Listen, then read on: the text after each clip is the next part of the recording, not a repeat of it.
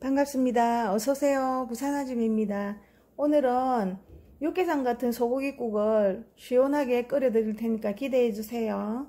고기는 한우 국끓인데 양지물입니다. 150g입니다. 국에 들어갈 부재료 무하고 양파하고 콩나물하고 대파하고 청양고추하고 홍고추 한 개입니다.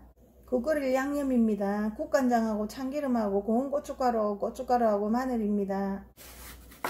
무 썰어줍니다.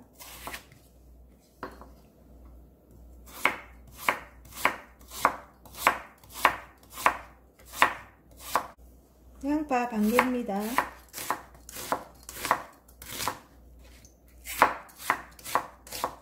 한 뿌리 썰게 해주세요. 홍고추, 홍고추 썰어주세요.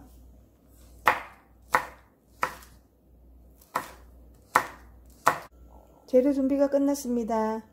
시원하게 국을 끓여보도록 할게요. 키친타올에 핏기를 뺀 고기를 넣어주세요. 고기에 참기름을 좀 넣어줍니다.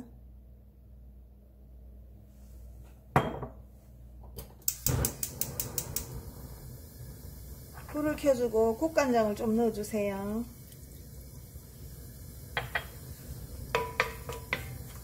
고기가 3분의 1 정도 익도록 볶아주세요. 여기에 무 썰은 거 넣어줍니다. 그리고 고운 고춧가루 한 스푼 넣어주세요.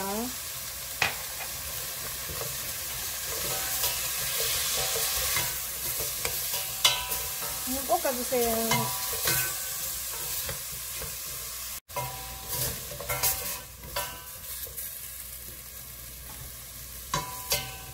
여기에 물을 부어줍니다.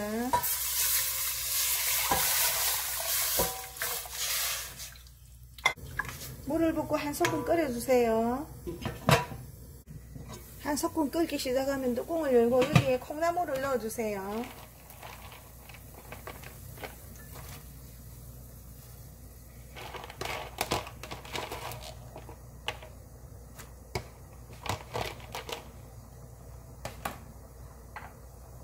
여기에 마늘 한 스푼 들어갑니다.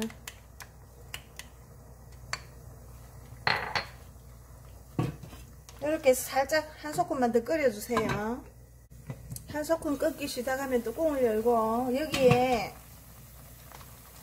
양파 썰은 거 다 넣어줍니다.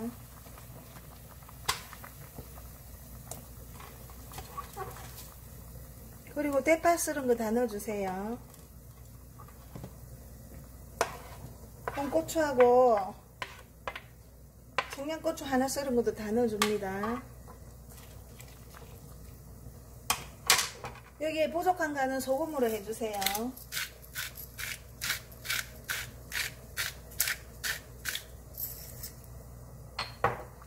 그리고 고춧가루 한 스푼을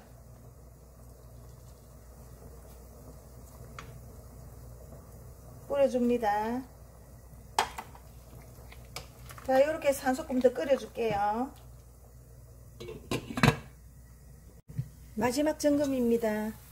오 굉장히 시원하면서도 칼칼한 냄새가 나거든요.